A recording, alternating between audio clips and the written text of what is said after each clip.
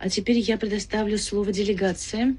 10 минут, даже 15 минут, если вы захотите. 15 минут в вашем распоряжении. Спасибо. Спасибо за вопрос такой целый, объемный, начиная с буквы А, заканчивая с буквы Я. Огромное спасибо, конечно. А, вот мы, вот все здесь люди, да, мы здесь сидим все люди, и все кричим о правах, правах. А где обязательства? Человек должен не только права иметь, он должен еще и обязательства свои а, выполнять. Есть правила, есть законы в конце-то концов. Если я, гражданин какой-то страны, приду, нарушу ваш закон, вам это не понравится. То же самое и другие.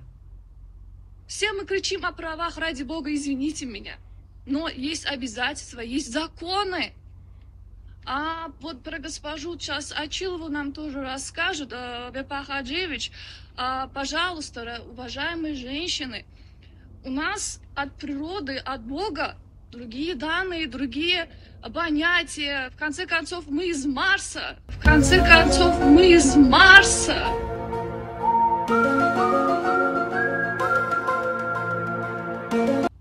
Пожалуйста, будьте немножко так вот, где мои права, где мои права, где обязательства, которые должна женщина выполнять, в конце-то концов. Будь она первая жена, вторая жена, десятая жена, ради Бога, у нас есть обязательства перед законом, перед государством, перед семьей, в конце-то концов.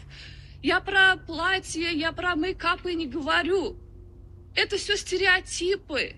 Человеку нравится, одевается, человеку не нравится, не одевается. Человеку нравится краситься, человеку не нравится не краситься.